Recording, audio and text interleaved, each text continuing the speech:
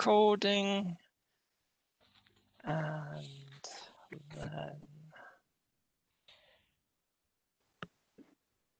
share. Let's see if I can get the sound to work. We don't need much sound, but at least at the end there's a little bit. Uh, that's okay.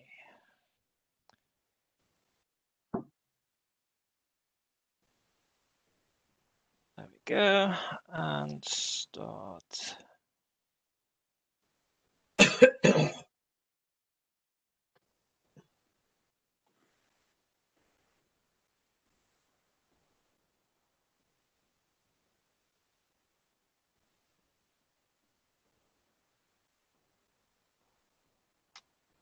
Okay, uh, then I've got this thing here in the way. Right. I hope you can uh, see all that. Yeah, So just got, let's- just got a, a, cross-hatch box in the bottom right-hand corner, small at the top. Uh, yeah, that's that, that's see. where I see my video. So um, yeah. Apart from that, Carson's, there's nothing uh, blocking it anywhere. All right, that's good then. Right, so Meteor Scatter. I called it a practical guide, um, but there'll still be some theory to get us started and also some history, which I found quite interesting researching for this. So, um, as time goes on, we'll go more into tools and software and stuff, and uh, hopefully um, at the end we'll do an actual meteor scatter QSO.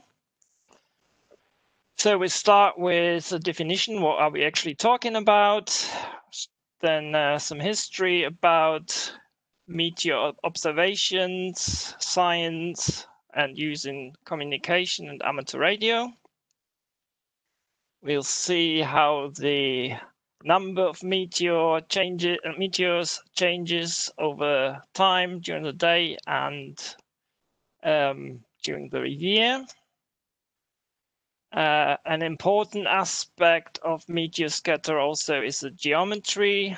So it's not um, quite as straightforward as a normal contact where you have the reflection point in the in the middle between the two stations. Um, so that plays a role, and then we look into how to operate meteor scatter, and then see hopefully um, a complete QSO. So what is a meteor? Um, start with the meteor meteoroid.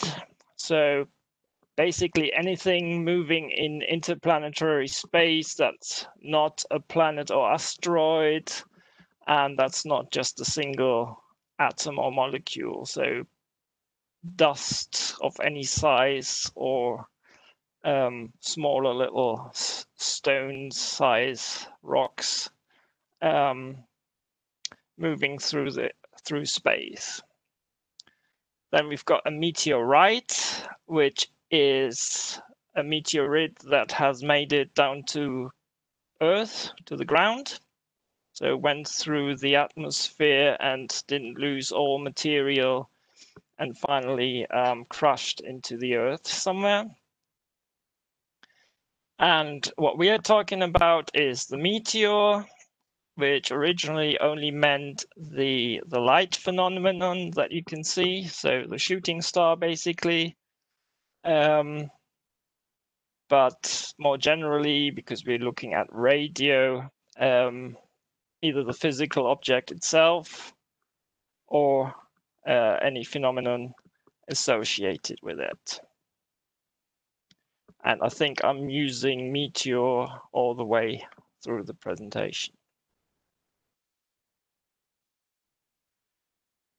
So, how did it all start? It started with with visual observations, of course.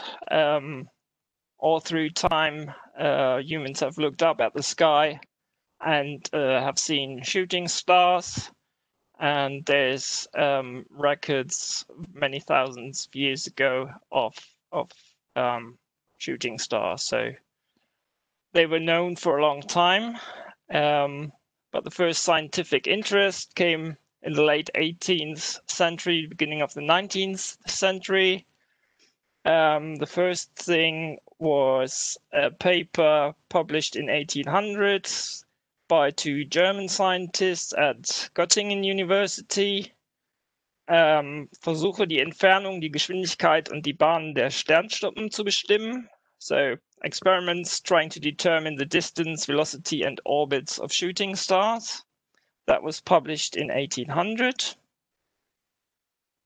Um, then the next big step was in 1833. There was a big outbreak of meteors on the night of 12th and 13th of November.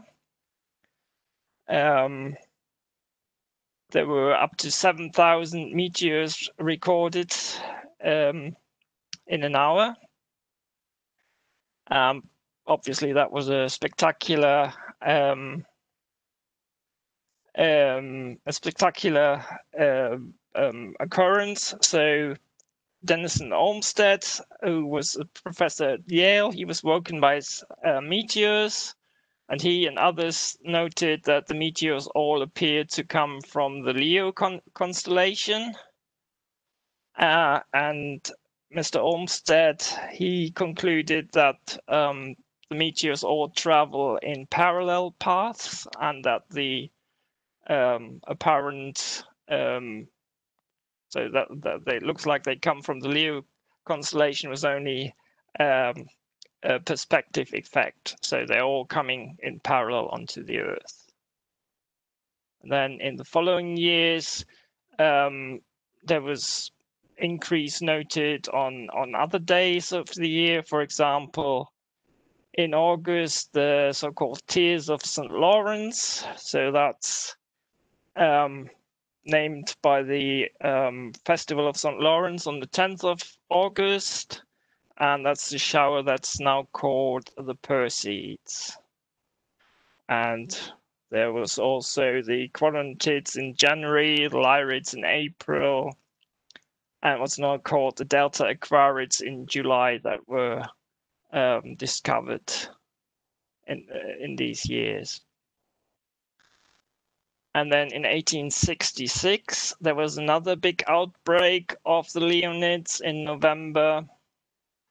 And there, um, Giovanni Schiaparelli established the connection with um, the Leonids and the comet uh, 55P Temple Total. Um, and there was obviously more visual observations over the years and they are still important today. But I think that's that's enough um, to start with on the on the visual visual stuff because we're interested in radio. So radio observations started right away as well. So uh, in 1925, um, Edward Appleton and Miles Barnett um, in the UK, and Gregory Breit and Merle Tuve. Uh, they both independently published studies on the reflection of radio waves from ionized layers in the atmosphere. So that was general. The discovery of the ionospheric layers. And Appleton won the Nobel Prize for his research in 1947. But quite soon after, researchers also noted unusual nighttime echoes um, from the ionosphere that they didn't expect because the E layer should normally only have existed during the daytime. Um, for example, Raymond Heising noted the effect seemed like great masses of electrons are tossed into the atmosphere rather quickly. Um, 1929, Hantaro Nagaoka he thinks that meteors swipe away electrons in their path, causing abrupt changes in the refractive index. Um, that should turn out uh, to be false. Actually, they add to the ionization. Um, but he was one of the people who suggested a connection to meteors. And then uh, in 1932, a team of scientists at Bell Laboratories um, published a paper from observations during the 1931 and 1932 Leonids, and they show a correlation between the visual observations and um, radar observations.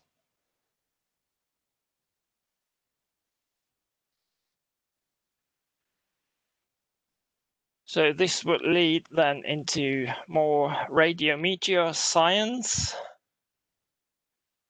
So in World War II, um, the English radar was occasionally misled by meteors.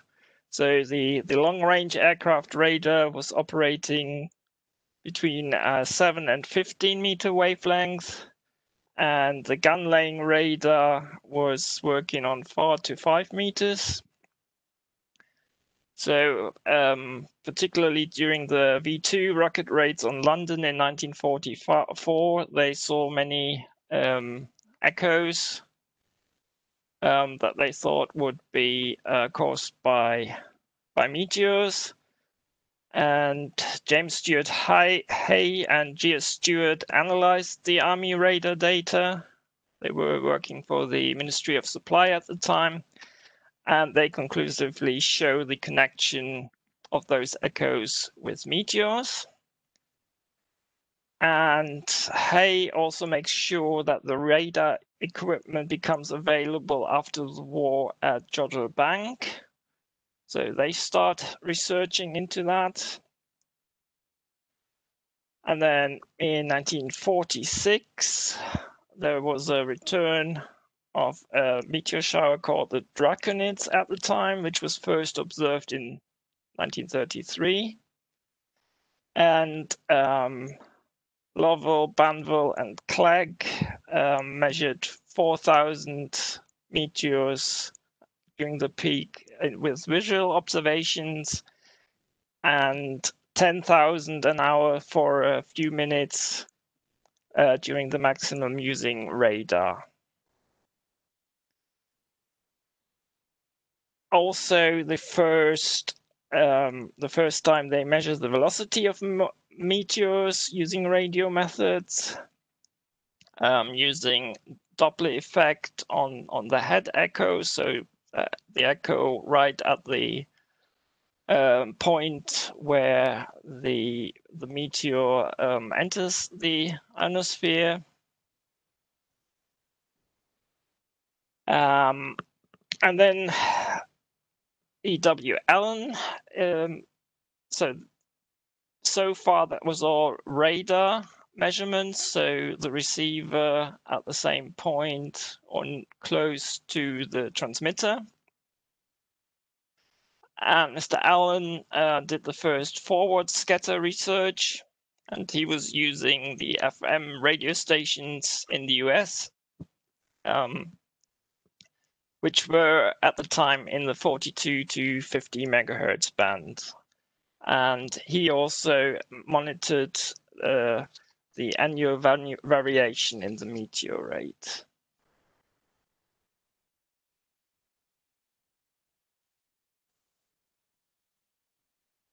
Now, uh, when was meteor scatter, or as it's normally called, meteor burst communication um, first used? So in the early 1950s, the possibilities for communications were realized. Um, of course, because of the brief nature, the communication was limited to digital uh, messages or data. Um, 1952, the Canadian military had the first system called Janet. But because computers and memory were large and expensive in the 50s, um, there was not much practical use. In the 60s, there were a few more experiments.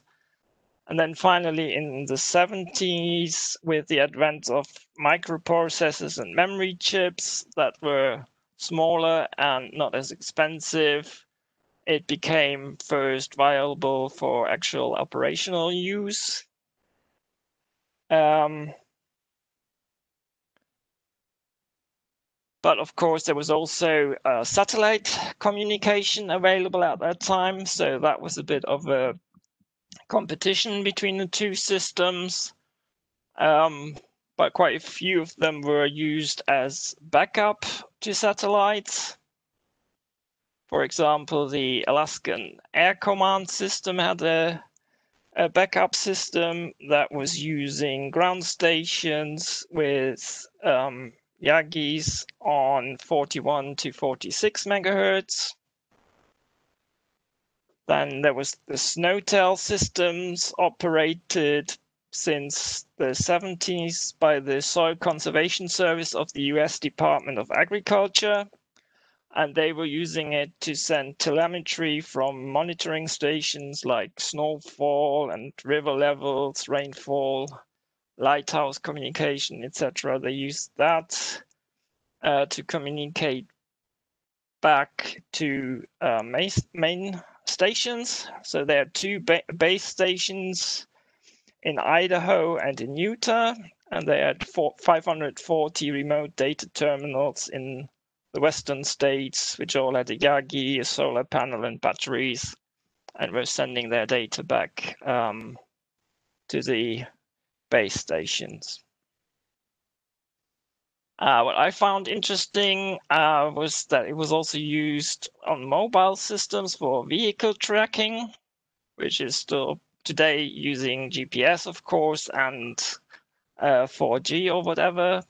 And at the time, there were two companies uh, providing um, vehicle tracking. One was called TransTrack, and they had mobile units which had a third 300 watts and a halo antenna for the meteor scatter or the meteor communication and a vertical whip to receive LORAN-C for the um, navigation and the other company was called Pegasus, and they used 250 watts transmitters and used a single whip antenna for meteors and for LORAN-C reception as well.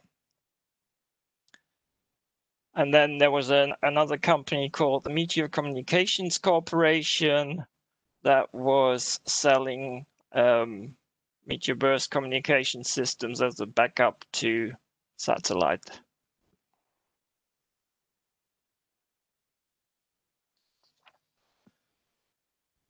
So now we're coming into what interests us most, amateur radio.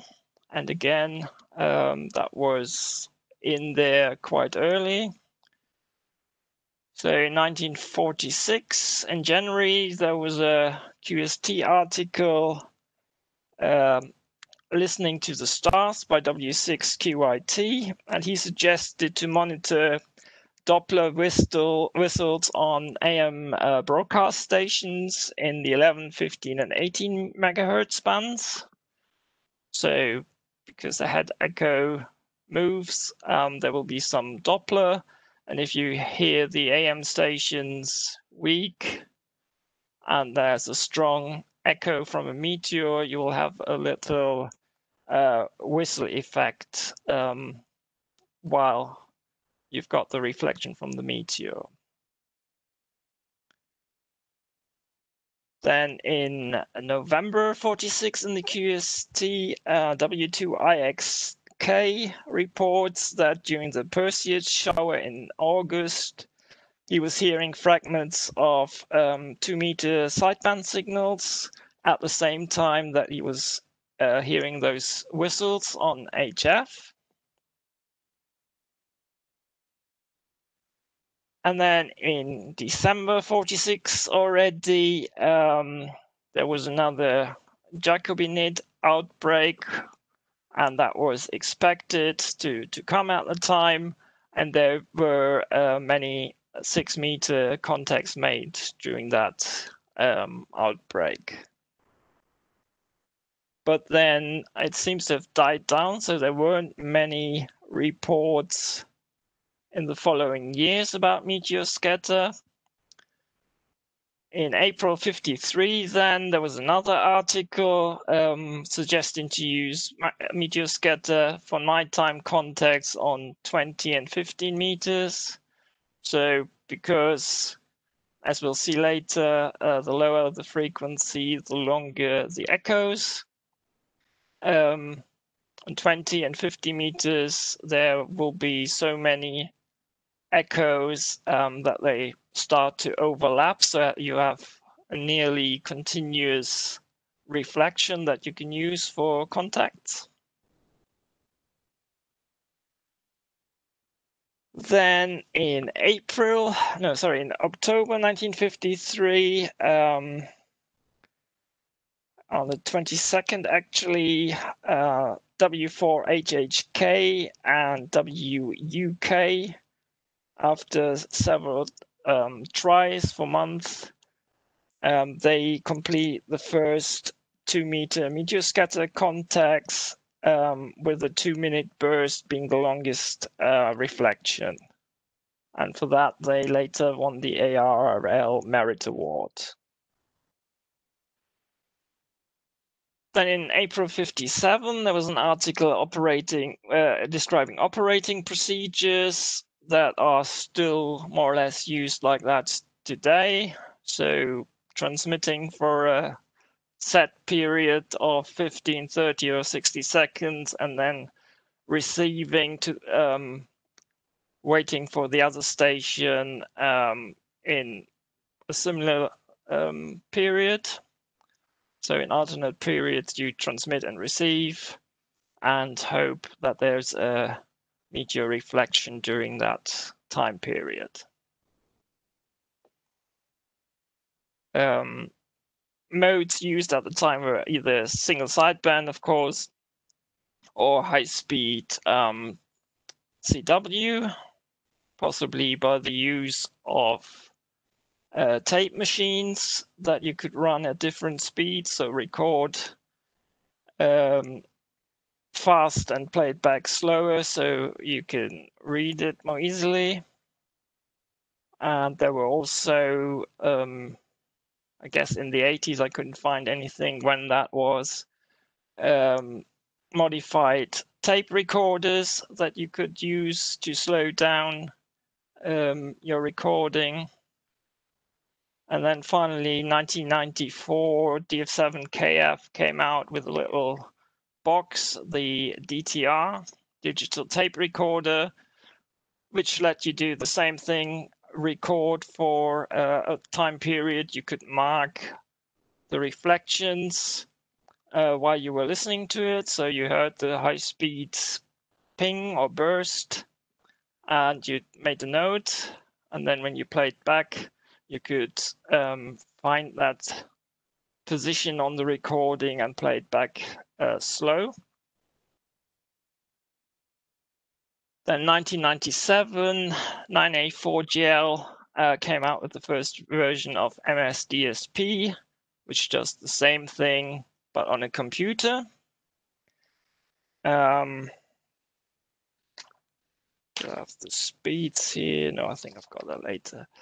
And then finally in 2001, K1JT came out with version 1.0 of WSJT um, with the FSK 441 digital mode, um, which brought many, many stations onto Meteor Scatter at the time and that mode is still used today, even though there there's there's other modes as well.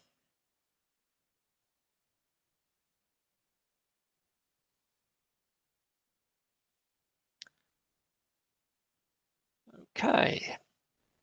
So let's see how many meteors are there and how are they distributed over the day and the year. So there's shower meteors, um, usually coming from comets or asteroids orbiting the sun, losing material, debris, and um, therefore, because it's coming from comets or asteroids uh, orbiting around the sun, uh, they follow predictable orbits and cross the Earth's orbit once a year on a specific date, or possibly even twice if they're oriented um, in the right way.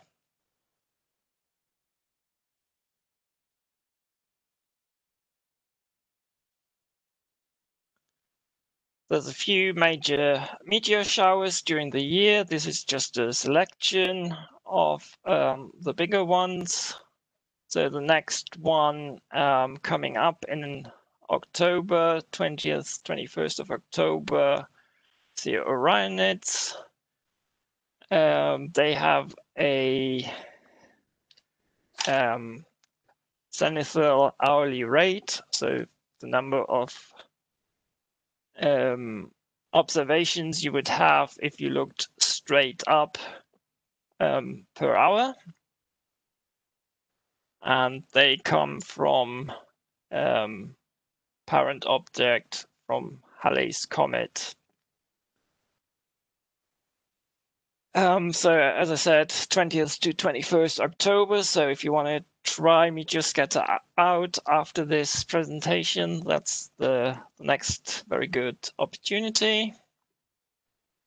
And then there's a few more, the Leonids in November, Geminids in December, then the Quadrantids the beginning of January, and then there's a bit of a lull.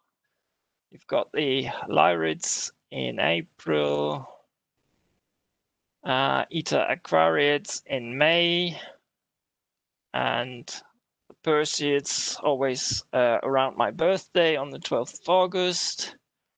So that's always very welcome. And if you want to look up um, when those showers are, there's several websites. Um, there's the American Meteor Society, where I got this from. There's the International Meteor Organization, which is um, an organization of amateur observers. And then there's also an amateur website, um, make more miles on vhf.de. They've got a page um, with the upcoming meteor showers for the current month.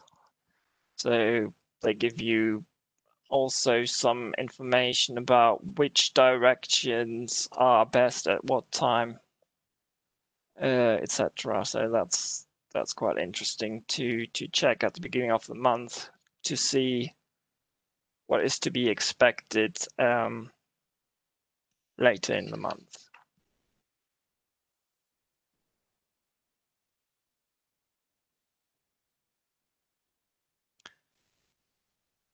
But there's not only those um, shower meteors, there's also sporadic meteors. In fact, there's many more sporadic meteors than shower meteors. They follow seemingly random um, orbits around the sun. The diameter can be any size, really, from microscopic size to really big boulders. And of course, the the the bigger they are, they uh, the rarer they get. So um, if you look at some examples there, um, boulder of one kilo mass, about 40 millimeters diameter. There's about 100 a day of those. And then if you go a thousand times smaller, one gram, that's, yeah, that's all right. Um, then there's about 100,000 per day. And the smaller you get, um, the more there are. So if you've got one microgram, small things, there's about 100 billions a day. And the total mass is estimated to about 40 tons of material entering um, the Earth's atmosphere every day. And there is a diurnal, so daily, and an annual variation. The, the daily variation comes from the movement of the Earth around the Sun. So if you look in this diagram, um, pointer. So here we've got the sun, uh, obviously not to scale. And here this is the Earth moving this way around the sun. And you can see at noon, that would be on this um, position on Earth, and the Earth turns uh, um, counterclockwise in this. So we'll have the morning on this side and the evening on, on this side. And so, of course, because the Earth moves in this direction, um, anything even that's not moving in this way will be hit by the Earth. So meteors will be swept up by the Earth's gravity field and in the evening, of course, on the evening side of the Earth, anything needs to be faster than the speed of the Earth, which is about 30 kilometers per second um, around. Yeah, so any everything that wants to get into the um, atmosphere needs to be quicker than Earth. So what we have, and this is just an example from Germany, um, in the morning you've got the highest rates, and in the evening you've got the the lowest rates of meteors, and that changes a bit during the year, but it's more or less um, a sinus shape pretty clear because it's caused by the ro rotation of the Earth.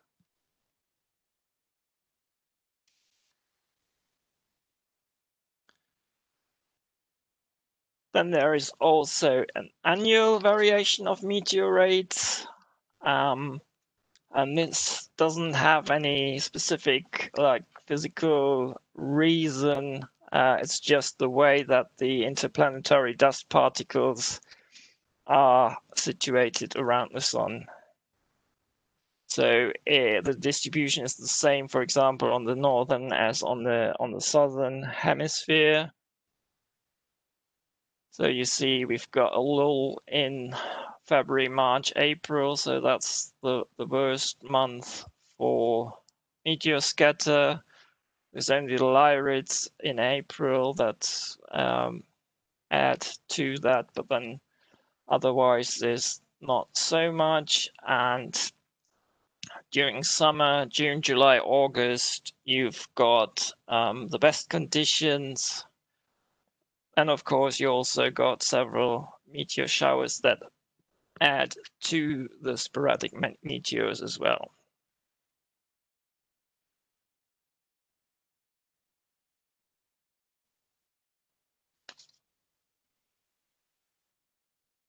There's a website. Um, there's Sodankylä Geophysical Observatory in northeastern Finland that's operated by the University of Oulu with in cooperation with Leicester University. Um, and this picture is from last month, from September. That gives you an indication of the activities.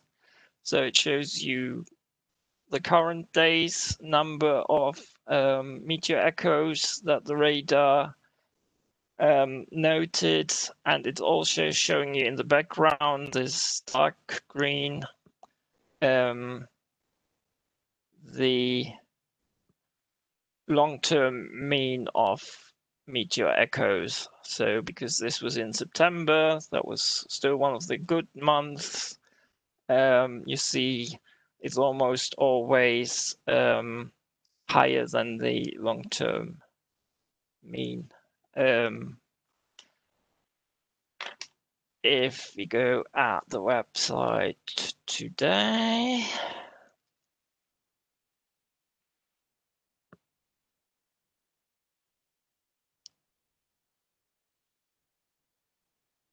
um, come on, where is it? Oh no, that's Make More Miles on VHF, but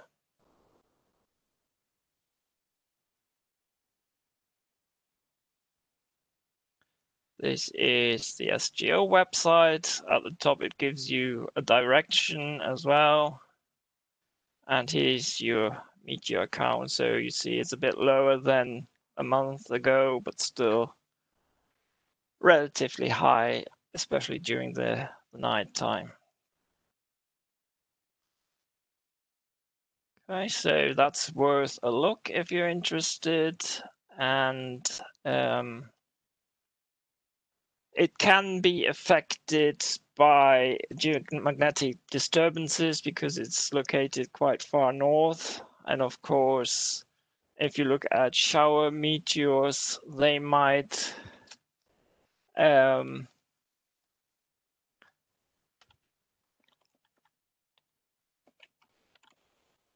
um, they might not be above the horizon um, here when they are in Finland or the other way around. So it's just giving you an indication. There's a few other um, websites, but they all give you just a number. So that doesn't tell you too much because you don't have any uh, comparison to the to the mean.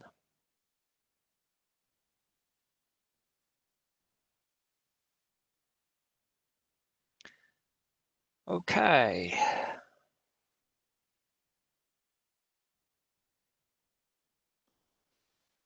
So.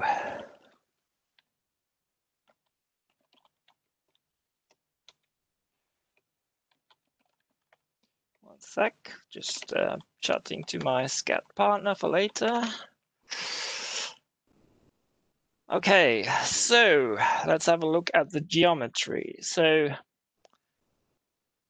when the meteors enter the atmosphere, the kinetic energy is turned into heat. So the surface atoms are vaporized, and these then collide with air molecules and are ionized. So that creates a cylindrical trail behind the meteor of free electrons, and of course also um, positively charged ions, but they don't add um, much to the reflection. Um, and the electrons then disperse over time slowly, so forming a link, long, thin paraboloid with meteor at its head. So a, a bit like in this diagram here.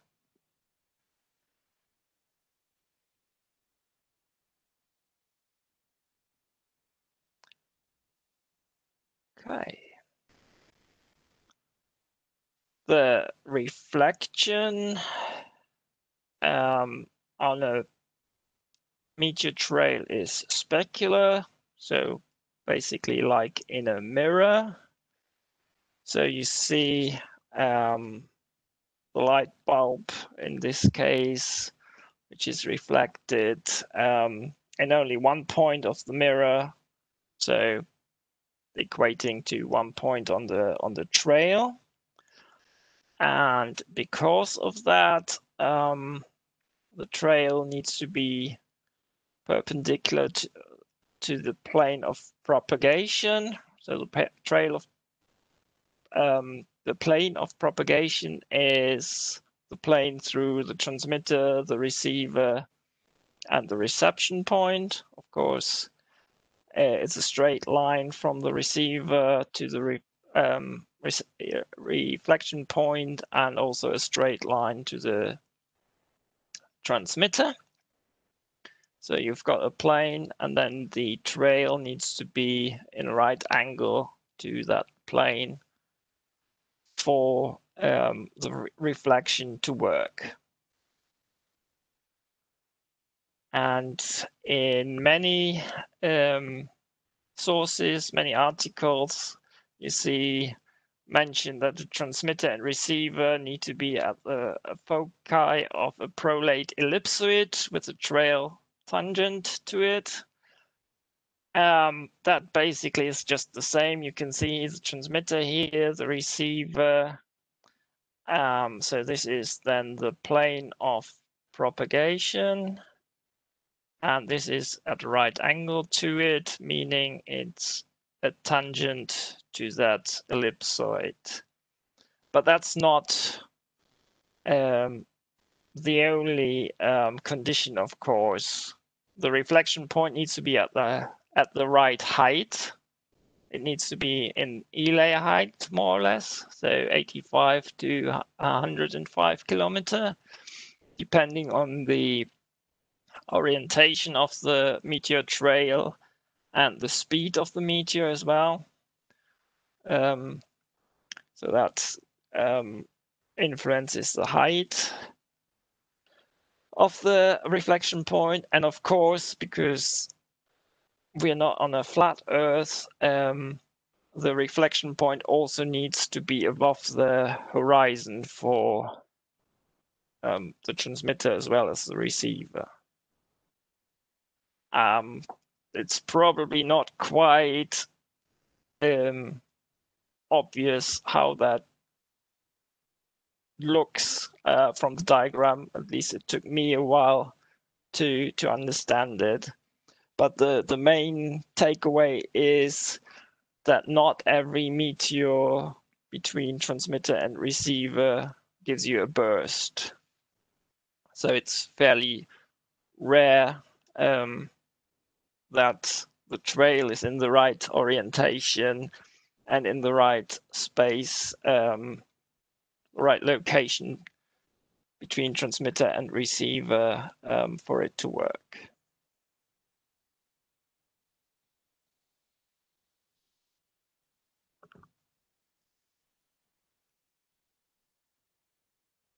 Okay.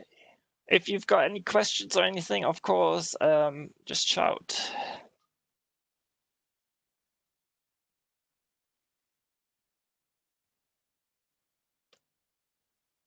Okay. Um, so there's a, um, a difference between two types of trails, so to speak, the underdense and the overdense trail.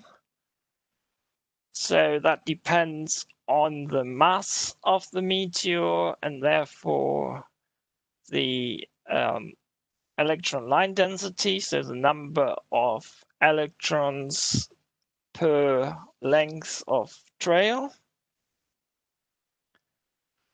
You can see that for a line density of uh, less than 10 to the power of 14 electrons per meter, which more or less comes from a meteor of less than one milligram. Um, the trail is underdense, so there's not too many electrons um, and the radio wave can penetrate the trail and excite the individual electrons and those because they're excited by the, your uh, incoming wave um, will re-radiate that wave to the receiver. Um, and then the other type of trail is the overdense trail. Um, there we have a line density greater than about the same number, 10 to the 14s, but this time greater. Um, or mass of the meteor greater than one milligram, and there the reflection is more um, like the reflection of a metallic uh, cylinder. And um, the tran transition between over underdense and overdense is not not sharply delineated. So you can get a typical underdense trail, and then um, a typical overdense, but there's also a transitional trail that we'll see. So what is the power profile? So for the underdense trail, you see there's a steep rise of the signal strength. You look at this diagram from um, a system, Ramses Radio Meteor Survey extended system by the University of Antwerp.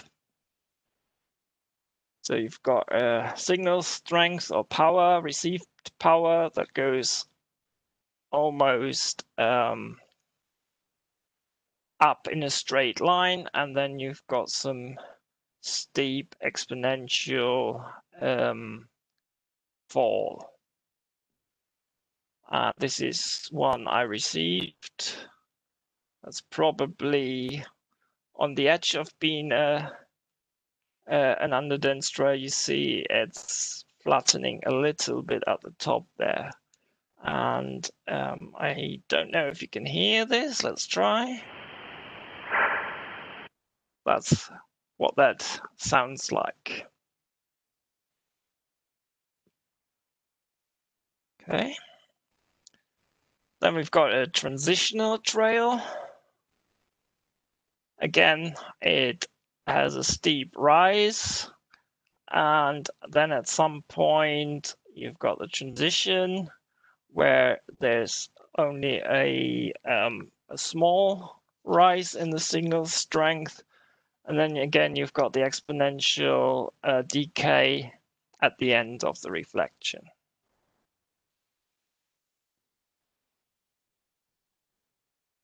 And finally, the overdense trail. Again, you've got the sharp rise but then it goes into small, um, um, not so steep rise, and um, the signal falls again, and you've got loads of QSB as well. So it starts off like a transitional trail, but then after a short time, wind shear breaks up the trail, um, thereby creating multiple reflection zones and those multiple zones add up or um, um, subtract depending on, on where they are. So giving you an interference um, pattern, and that causes this strong QSB. And this was one I received here. So that's the first 15 seconds, which is the transmit period of the other station. Then the other station went into receive. Obviously, I couldn't receive anything then. And then it continues for another 15 seconds. Um, and it looks like it may have gone on for, for a little bit longer. So that's quite a long uh, reflection. You can imagine um, you could you would be able to finish a, a sideband or a CW599 QSO in 45 seconds easily.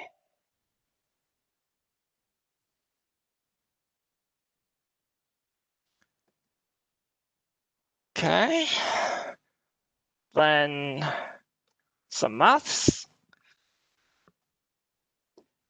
And no, I'm not going to go into all the details or anything. And this is the only equation I'm going to show you as well.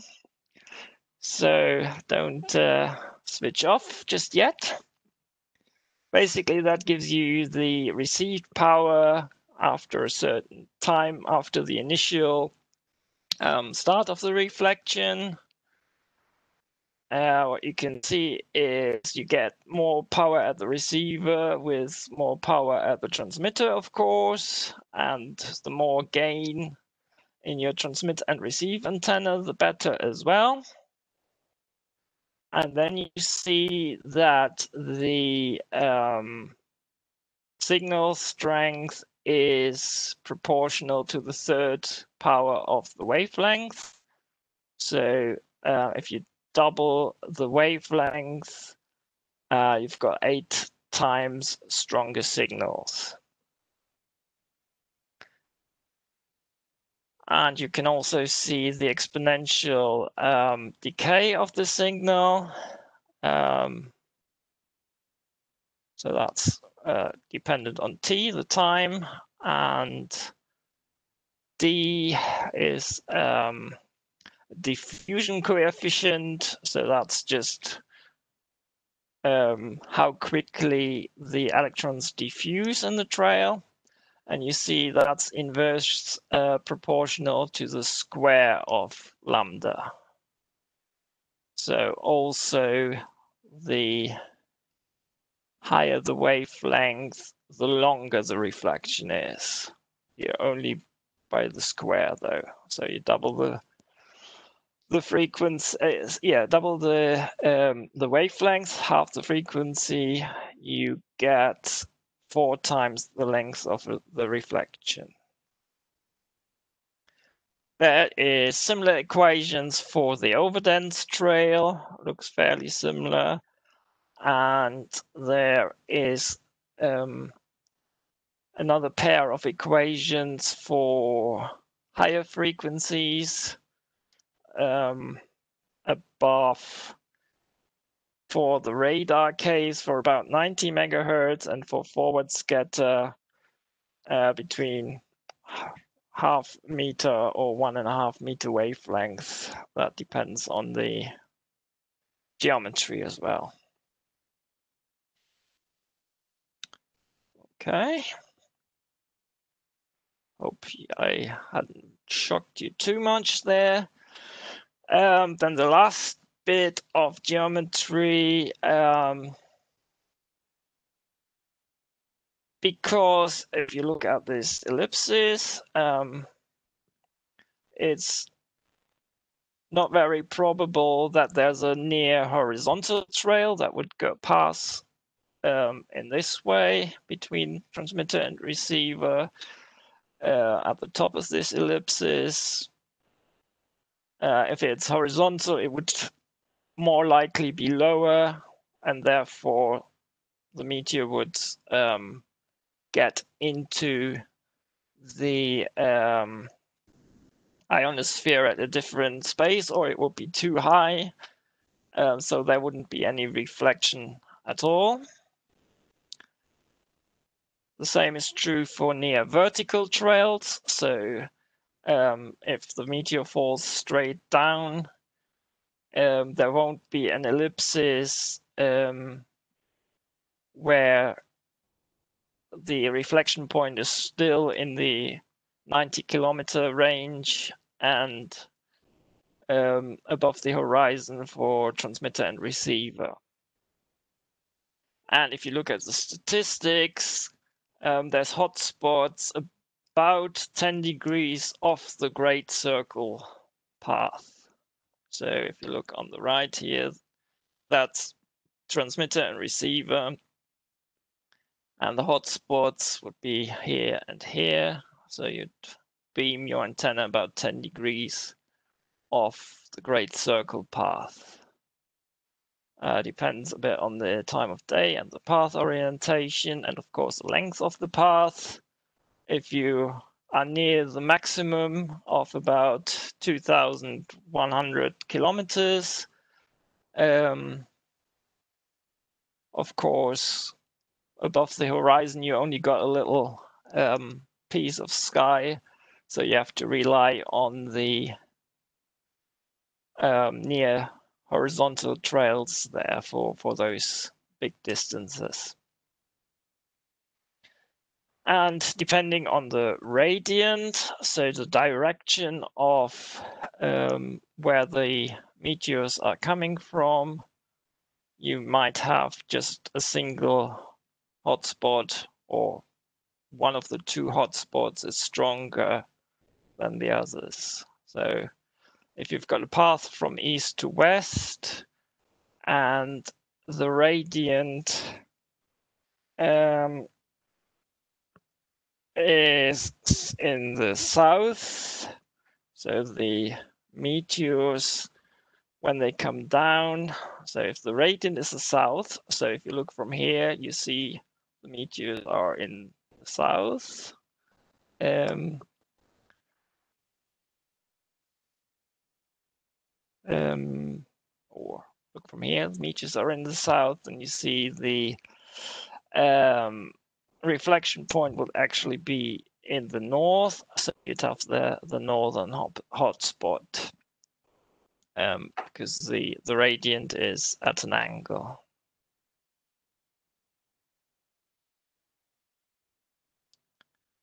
Okay, and um, all the MS uh, Meteor Scatter software that we use um, displays the the hotspots for a certain path. Um, so you know which where you need to um, beam your antenna. And of course, um, it's only 10 degrees off the great circle path.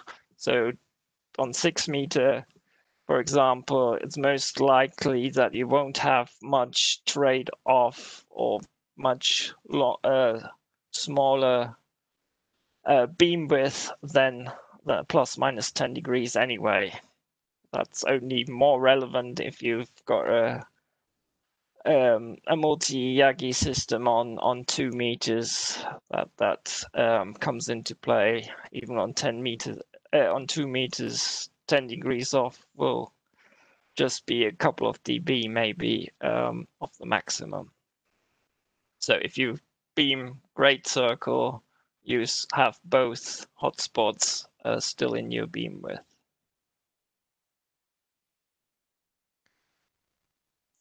Um, there's a tool, uh, a program, Virgo, um, which shows you the current showers um, that are active at the time. So that's again from September. And you have to enter your locator so it knows where you are and then you can see um, the direction. The direction is the, the, the dot and the elevation as well um, of the showers. So SPE would be the September Perseids. They're circumpolar, so they're always above the horizon. Whereas um, the sextantids, for example, they would only be over the horizon between 347 and 1552.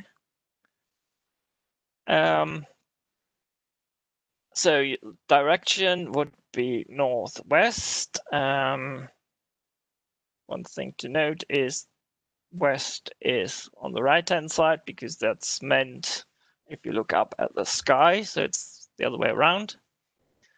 Um, and you see here, if the direction would be here, we would have, say, 40 degrees elevation. So that's the elevation of the radiant. And it suggests to point your antenna 90 degrees, so in right angle to the direction of the radiant. That gives you more or less the best um, reflections. Uh, another tool is um, MS Soft by OH5IY. Unfortunately, that's only a DOS program. Um, so if you want to run it, you need an emulation like DOSBox. Um, it's quite a good tool, but I must admit I have not done too much with it because of the the DOS emulation thing. Um,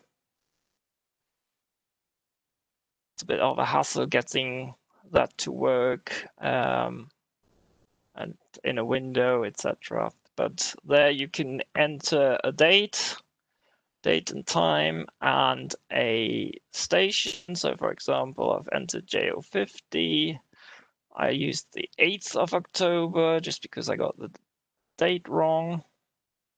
um, and then it from its database it finds the arietids and piscids, uh, meteor showers, and it calculates an, a path efficiency and a path loss um, for a certain time, and it also tells you which azimuth and elevation you should use at um, specific time for the for the contact.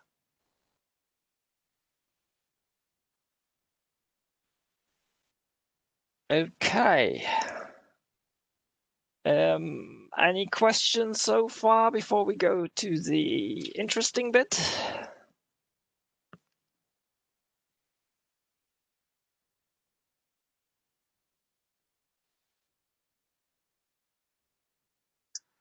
Okay, I'm that's fine. Um, okay, let's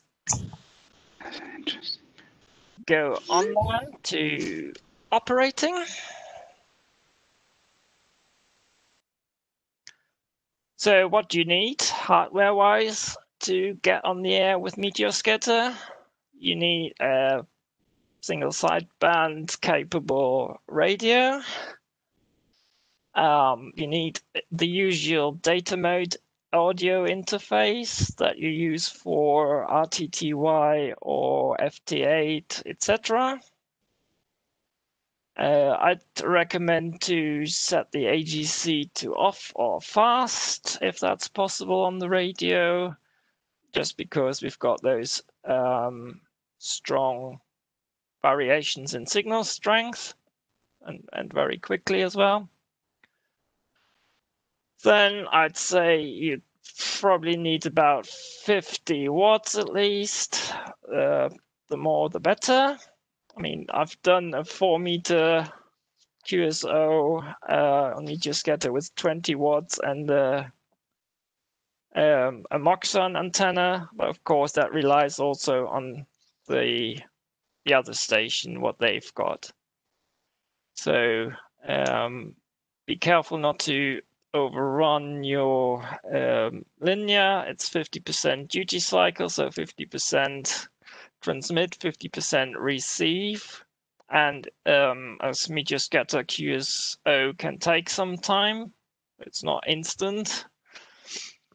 Um, for six meter and four meter, you need a dipole at least, um, but of course, it's much it's much better with uh, some sort of directional antenna, Yagi quad or something like that.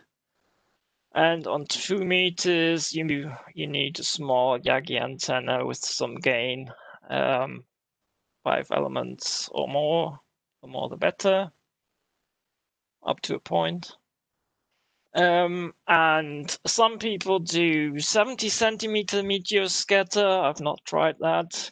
Um, that will only work during showers, and you need quite a lot of gain and some power um, to do that as well. So I'd not start with 70 SEMS. Um, so I'd do six meters to start with. That's how I started. Um, I had a, I was only QRV on on six, and working sporadically during the summer, but obviously during uh, autumn and winter, there's not so much sporadically around. So I was trying to find something to do, and that's how I got into into meteor scatter on six, and then um, later for about a year now, I'm also on on two meters. so that's the hardware. What modes can you use? Of course, single sideband or CW. That works on, on all bands, as you've seen. Um, if you if you get an overdense trail with a longer reflection, you can at least exchange part information. Um, again, on six, for example, I was trying to work 4U1 ITU, and there was no pr- propagation at all, but um, I think it was one of the G's uh, at uh, an ITU conference. Um, they were on six and were calling constantly um, on CW and listening frequently. Um, and then I heard one CQ just gave my call once, got a 599, sent him the 599, just about got the confirmation, and um, then he was gone again. So that was all I heard for about an hour, but I made the QSO. So that works. And also um, on the upper HF bands during contests, I'm sure on 10 meters, there's quite a few um, meteor scatter contests, uh, contacts that that happen, even if people may not realize it all the time. But then there's um, the digital modes, um, MSK 144 used on all bands. Um, it's ideal for six meters, but on two meters and I guess 70, it will miss a lot of short bursts because it's got forward error correction. So it's either all or nothing. Um, so if you just get part of the whole uh, two call signs and report, um, it will not show anything. And FSK 441 is another digital mode, which is used on 2 and 70. Um, that was the first digital meteor scatter mode um, in WSJT1.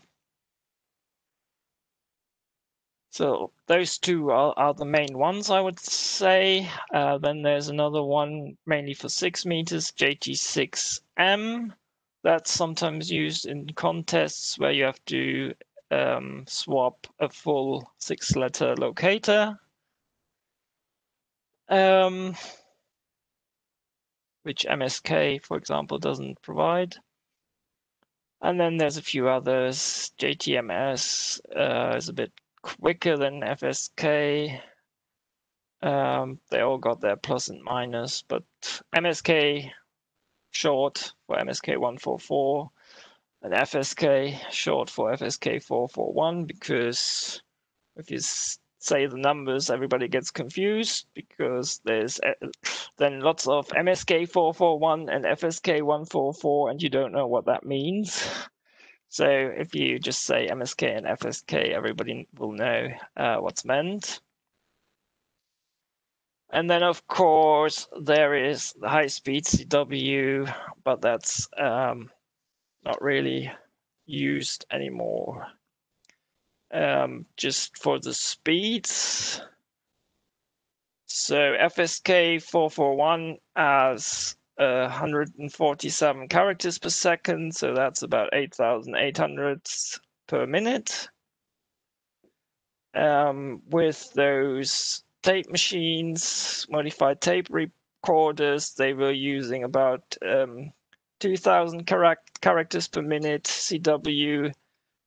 And then with the digital stuff, the DTR and MSDSP on the computer, um, they were using uh, 4,000 to 10,000 characters per minute.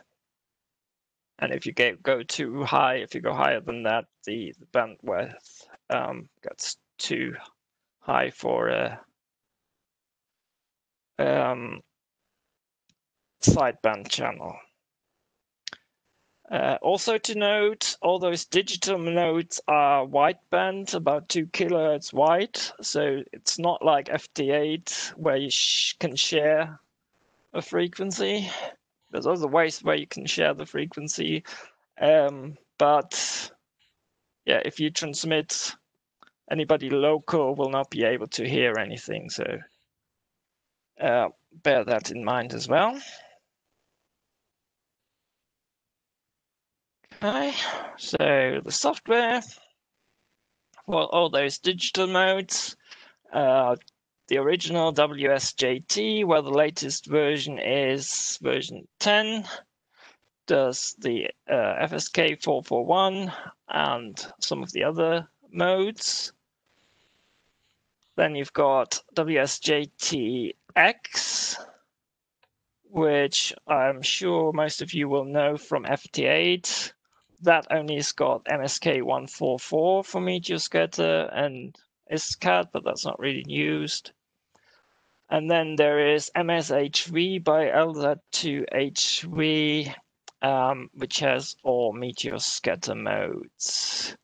So this is WSJT10. You've got the reception window there, and you've got the um, spectrum at the bottom, which goes through when you receive through the time. Um, so a bit different than what you're used to uh, from uh, FT8, for example. Then you've got WSJTX.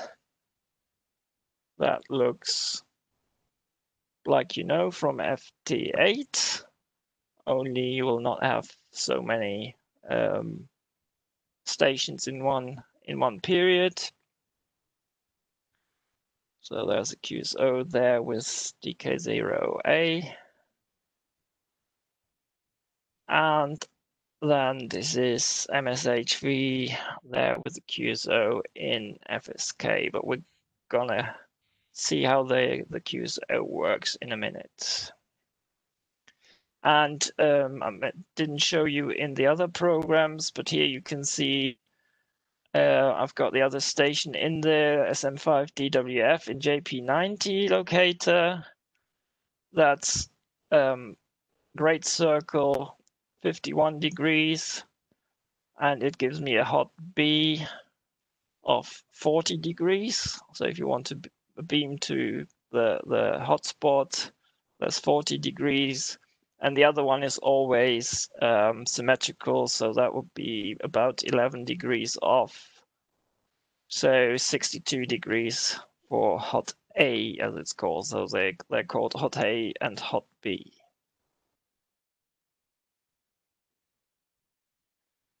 Okay. There's um, calling frequencies. So 50 to 80, 71, 74, and 144, 360 for MSK, and 144, 370 for FSK. And the way you do it, you should always call CQ mentioning a QSY frequency. So you call CQ353, for example, uh, and that means that you send your CQ on your on the calling frequency 360, and everybody wants to QSO you replies on 353. And if you once you hear a station, you also switch transmitting on on 353. So it's different to split operation on HF, where the the X station would always transmit on the same frequency and just listen on a different. Here you call CQ and then uh, switch your transmit frequency also to the to the other frequency. And you can make skeds, of course, by email, phone, um, etc. And there's also a chat system by ON4KST that you can log into um, and chat to other users. The operating procedure on 6 and 4 meters, you use 15 sec seconds periods, and on 2 meters and 70 cents, um, 30 second periods. Stations in Western and Central Europe should transmit in second period, so that includes us. Um, so second periods means periods starting 15 and 45 second past the hour uh, in 15 second periods or 30 second pa past the minute, past the full minute on 2 and 70. Uh, sometimes there's also used that if you beam west you call in the first periods and beaming east you call second, but that makes the UK always go second.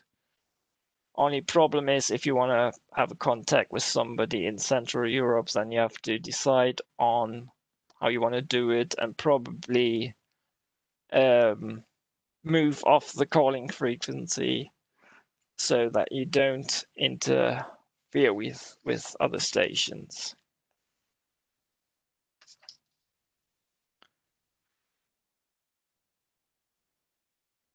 In MSK 144, um, it's basically the same as FT8 or FT4. The reports are between minus 8 and plus 24 dB. And the same QSO is complete when the other station receives your RR73 or uh, triple Rs. Of course, you only know that either when you receive the 73 from the other station or um, when it when they tell you on the chat. So on the chat, it's allowed to give the confirmation that you received the final Rogers, as they call it, but you um, should not tell anything about the QSO. The QSO itself should go over the air, of course. So um, in this example, there was um, HA2NP calling CQ. I gave him a report. So that's also something um, because it takes longer, these QSOs is a good idea to start with a report rather than sending. Uh, actually, I may have uh, sent my locator as well in this case. And then he came back with a plus zero four report. Obviously, didn't hear mine for a while because it's ended a long time. And then I got his um, final Rogers, gave him 73, and quickly got his 73 as well. So the QSO is complete.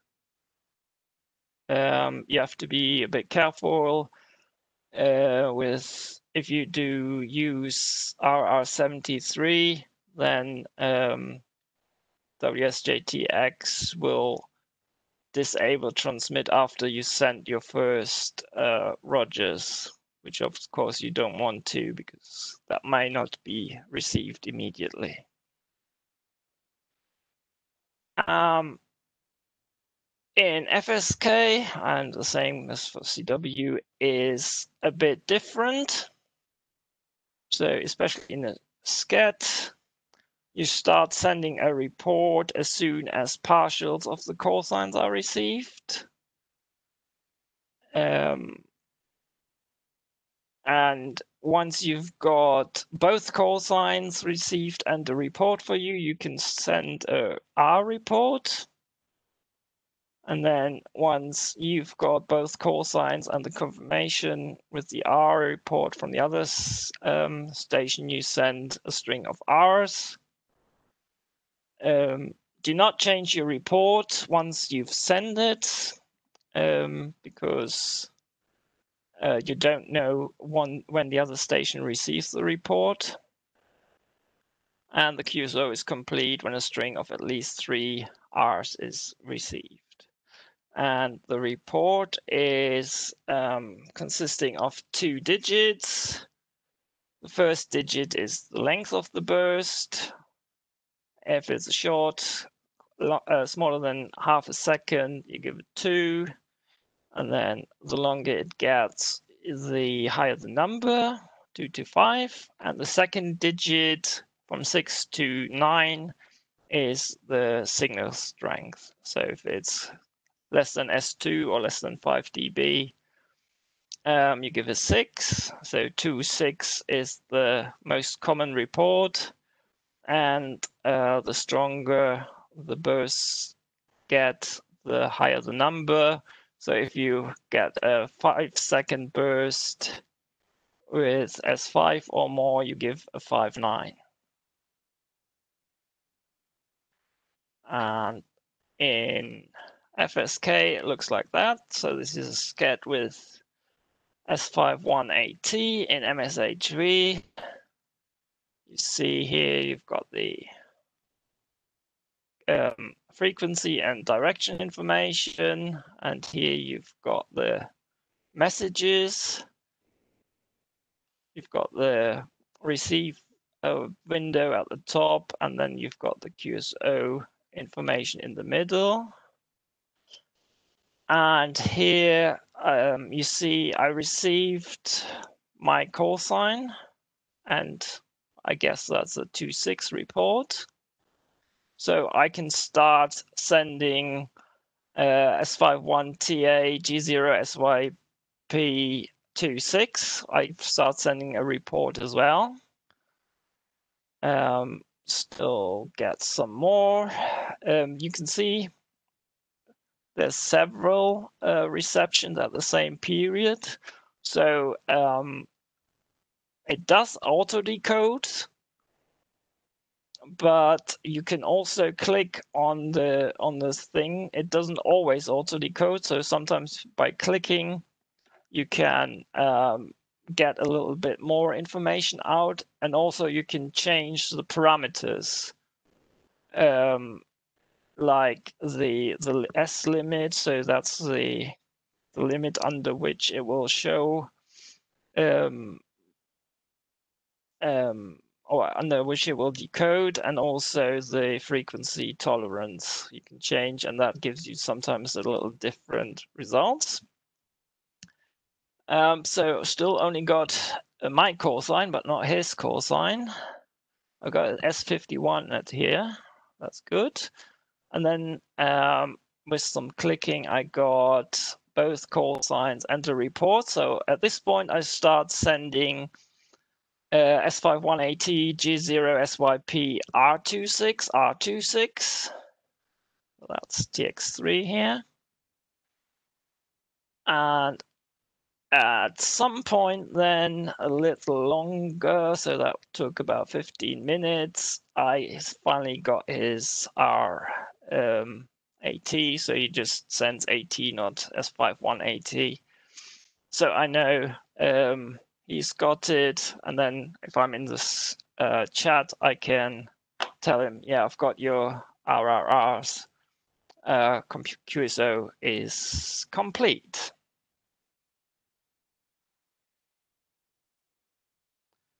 Right, let's see. Um,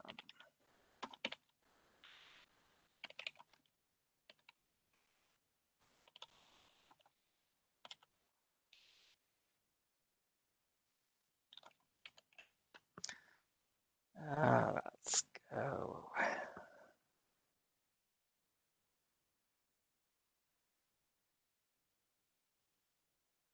And see if this works.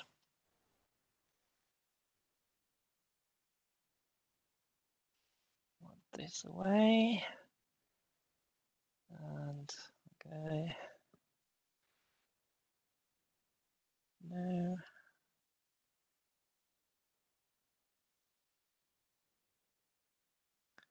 see if the CPU might like that or not. Looks like it's quite busy. What have we got?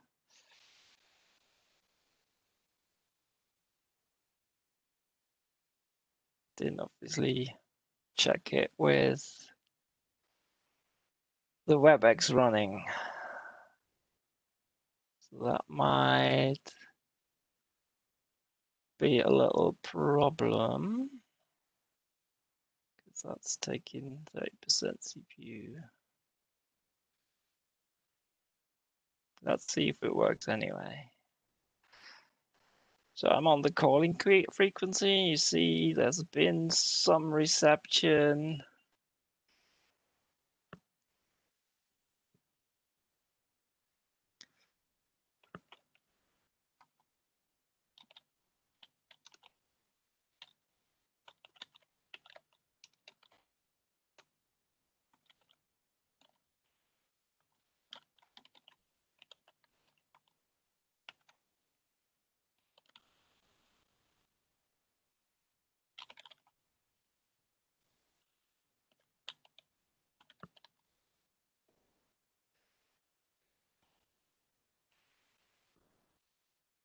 So let's see. Um, hmm.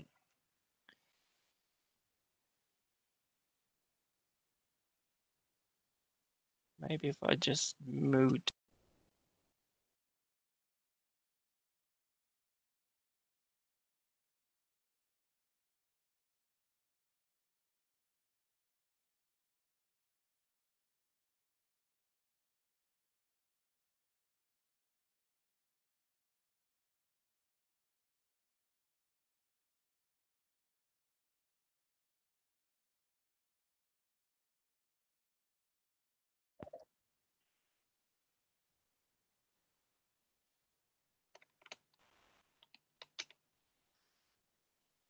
Right, let's try this. It doesn't look good. So the sked I've got is with DK2EA. He's a JO50. So I can generate the message. And there you can see I already received something, but this is too slow. Um, I'll see if I stop video, does that work better?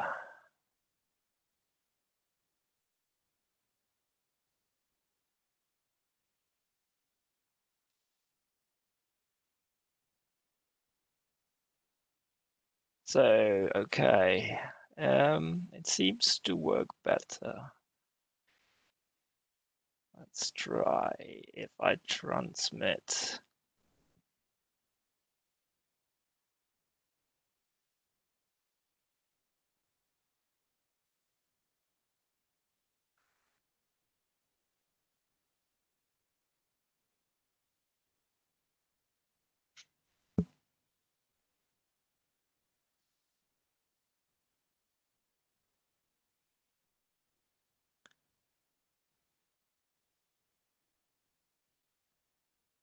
See if I can give you the sound at least.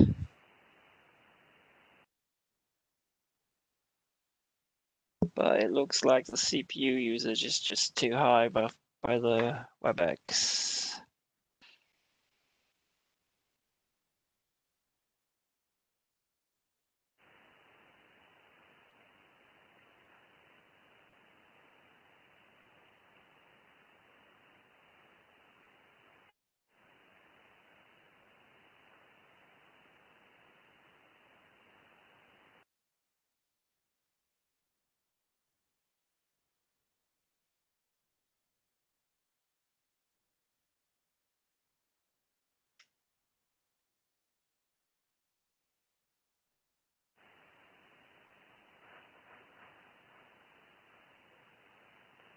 There we go.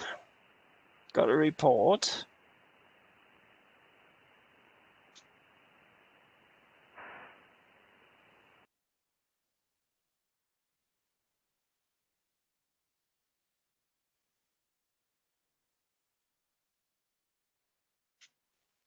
You can see it in the spectrum as well, better than what you heard probably.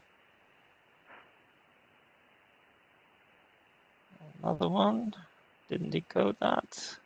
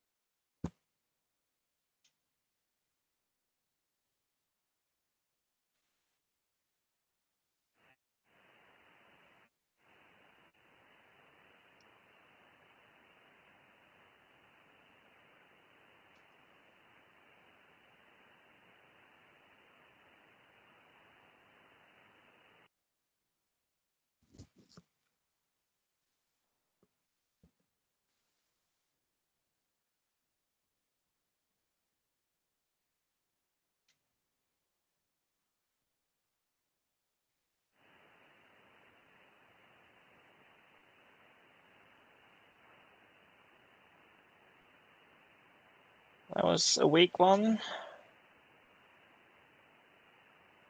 Should have decoded that normally.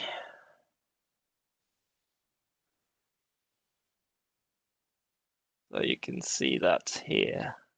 That was a week. First,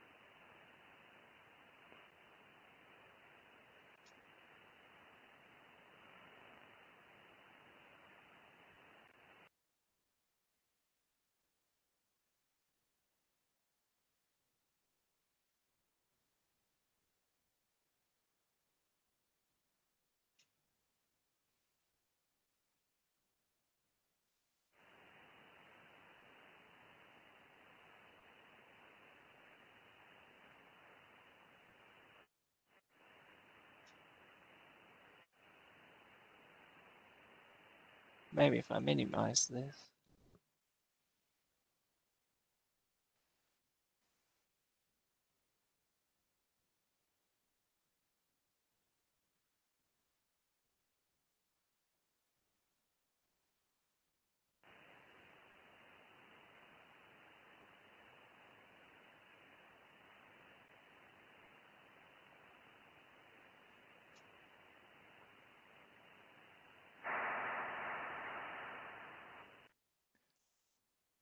Now that's a good one.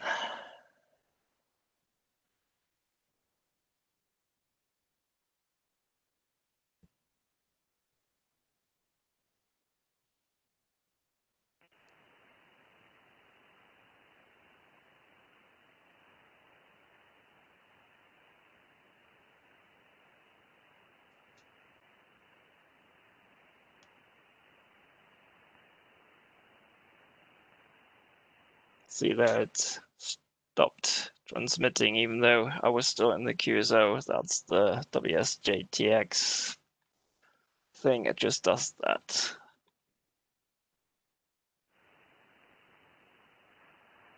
Ah, there's our 73. So I can add that to the log.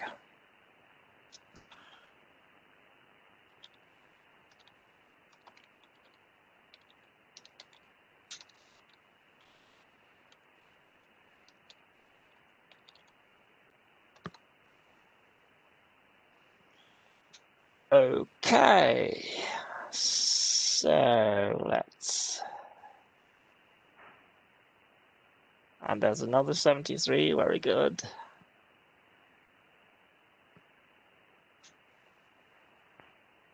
I can send another one, just I want to.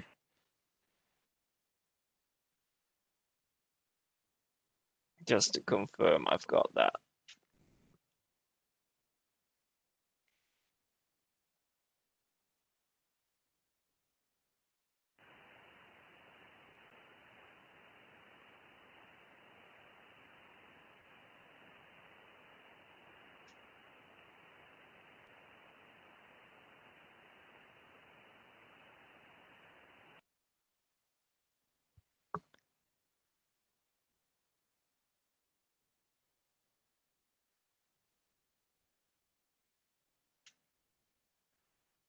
And if you're in the cluster, LN1V in Norway has also spotted me.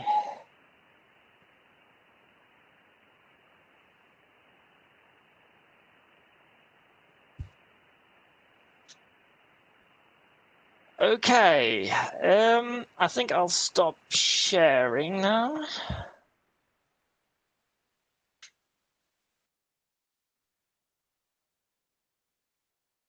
And back to video.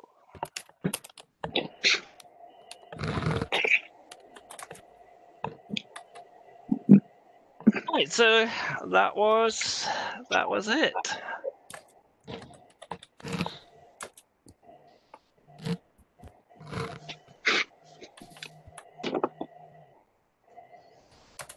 Thank you very much indeed, Carsten. Very interesting. Interesting indeed. A little bit over my head in some places, but uh, well done. I really enjoyed it.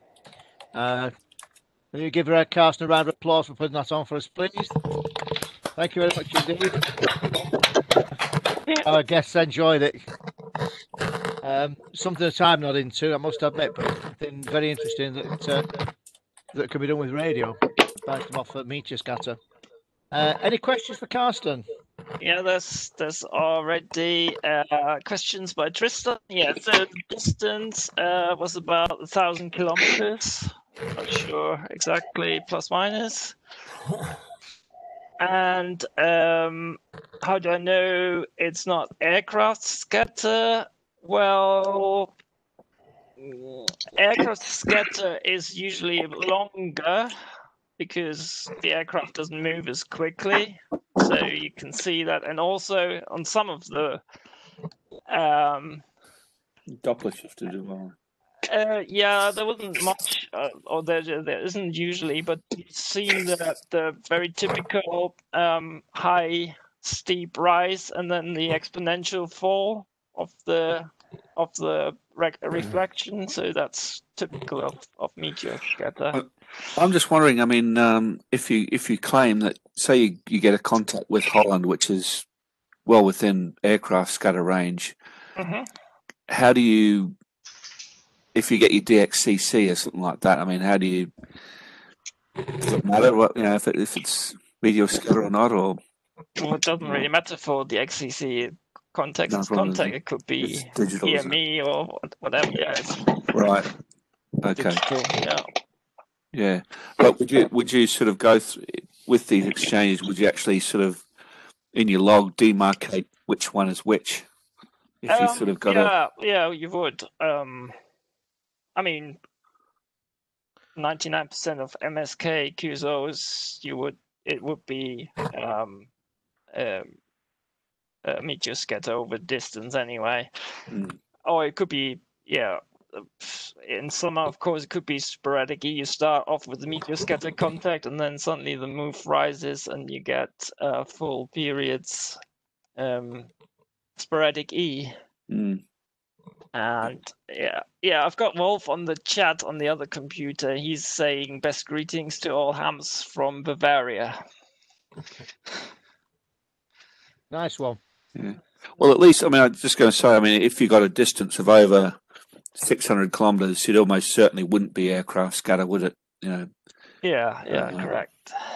so um, yeah. Just can I can I just ask another question? I don't want to Yeah, sure. take too much time. You, you say you're doing it on 70 centimetres. I mean that No, uh, I, I, uh, I haven't. No, but but there are people who do it.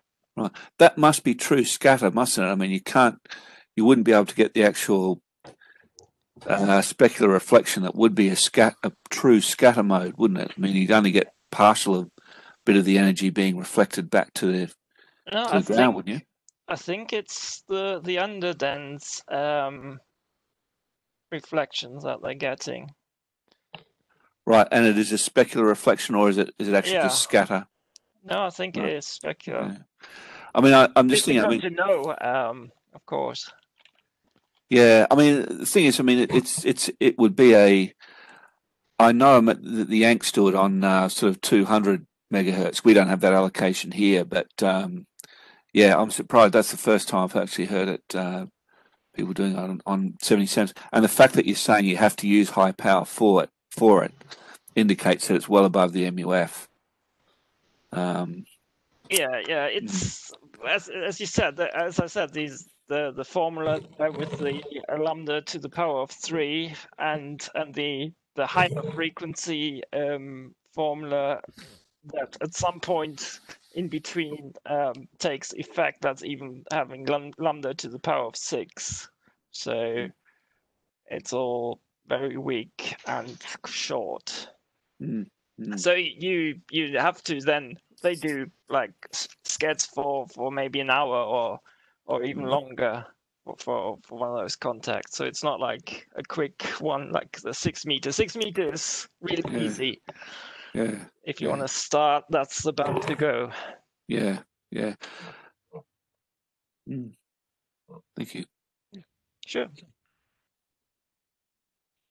Any more questions?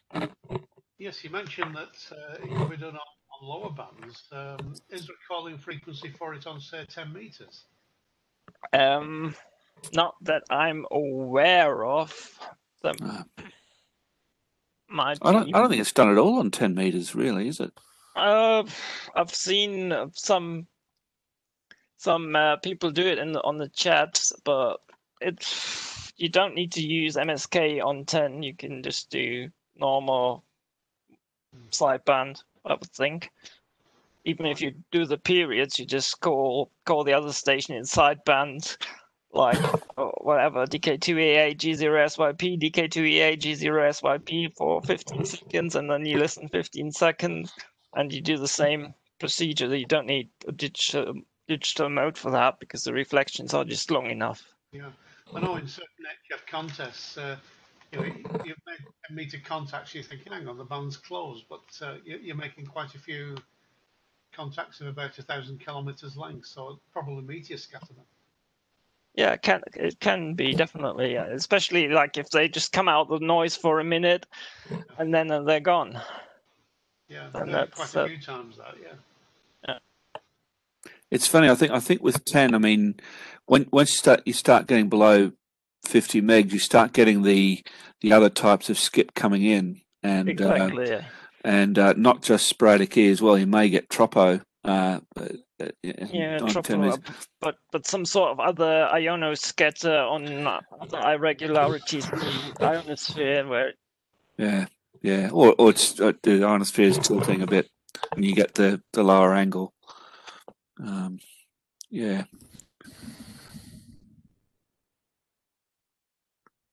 Any more questions, Carsten? Yeah, Carsten, can I ask a question, please? Yeah, sure. Um, thank you, first of all, for inviting the Bury Radio Society into your Stockport uh, meeting. Um, my question is I'm a CW operator primarily, and sometimes me I hear, uh, oh, fantastic. Um, sometimes I hear the CW tone spreading on an ordinary QSO, uh, Right. two meters. What could be the cause of that, possibly?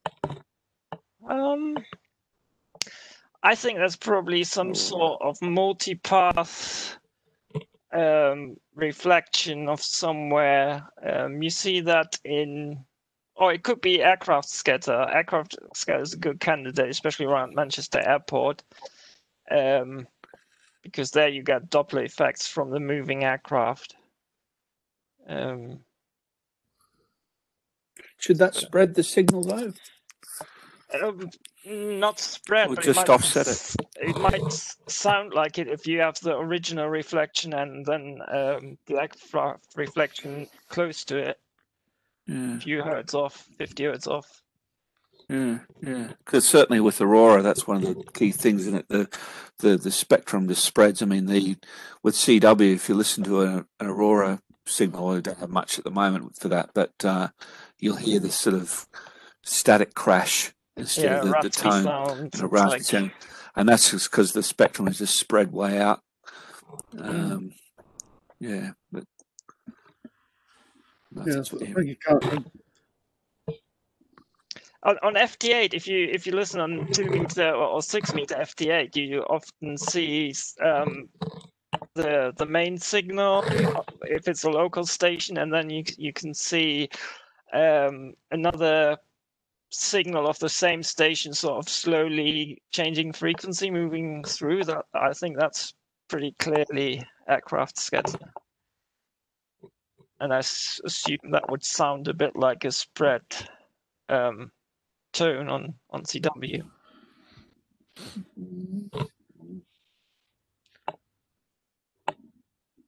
Go. Yeah, okay.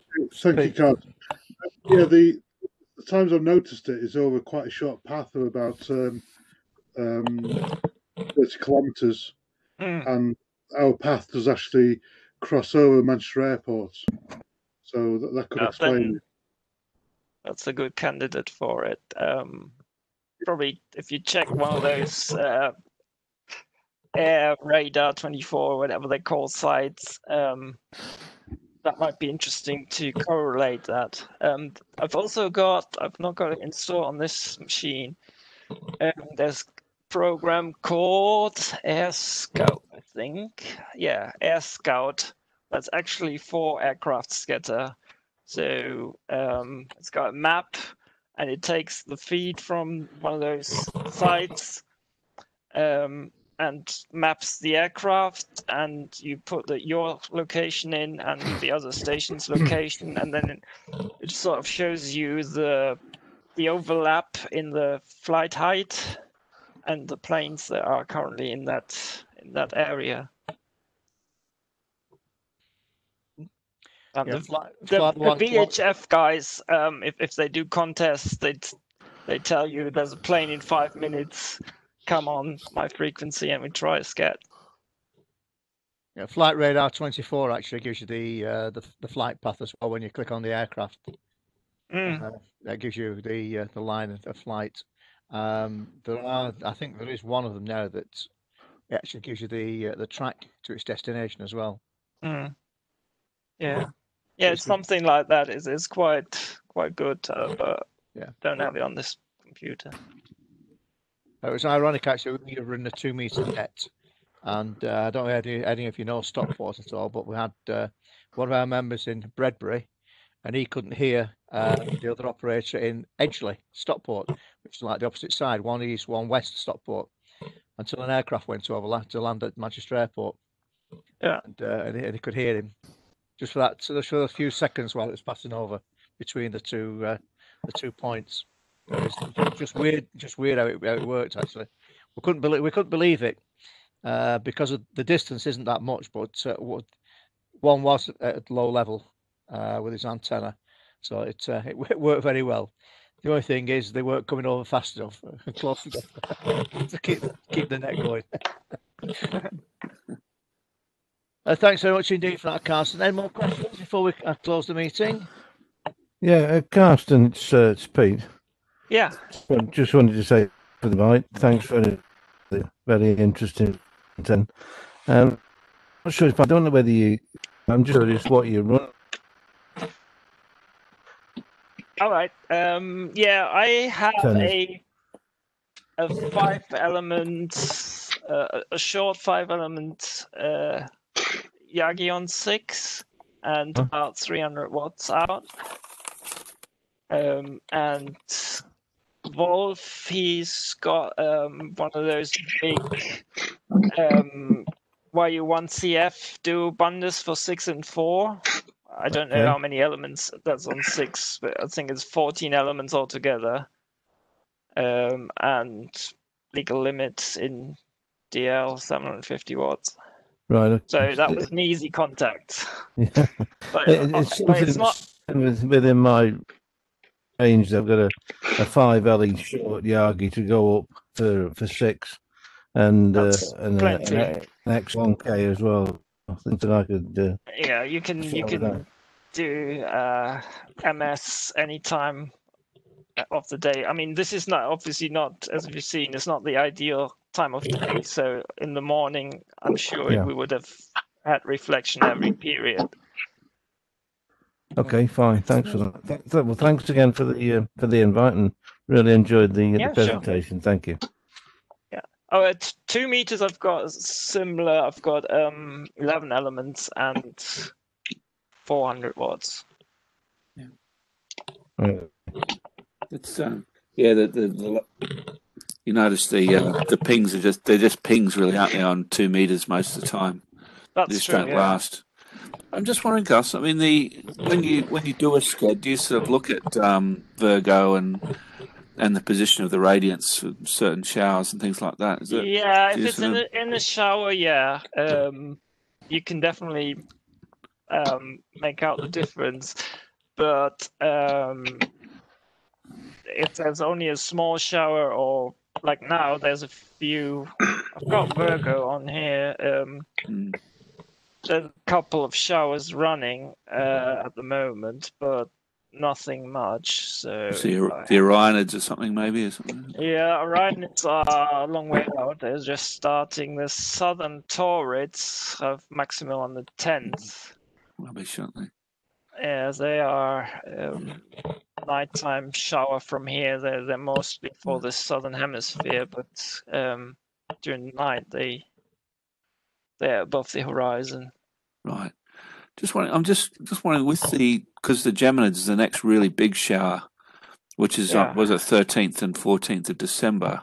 Yeah, I'm just wondering if maybe an idea is to have a you go on live or something, mate. I don't know. I mean, uh, it just seems like this that that would be the next big opportunity. I mean, we've, had, we've missed the Perseids because that was in August. But I mean, if you get the peak of the Geminids, you get a zenith hourly rate of 100 plus yeah, meteors, and the shower isn't too late. Usually, the best time, you know, like you were explaining, even with the showers, are usually sort of around dawn. But the, the good thing about the the Geminids is that is that they tend to peak. Uh, the best time to hear them is around is around midnight, uh, you know, which is very early for most meteor showers. Yeah. So may, maybe that's something that I don't know.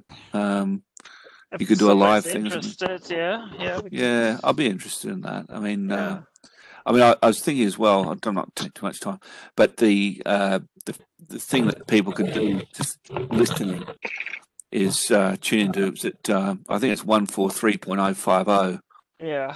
for the GRAVES meteor Yeah. radar. It's just a constant carrier at about oh, it's a satellite radar, so it's it's really high power, but it's in southwest southern France somewhere. So you beam southwest, Mm. and it will pick up even a crummy antenna will pick up the sort of pings and the zings from the, uh, the meteor scatter.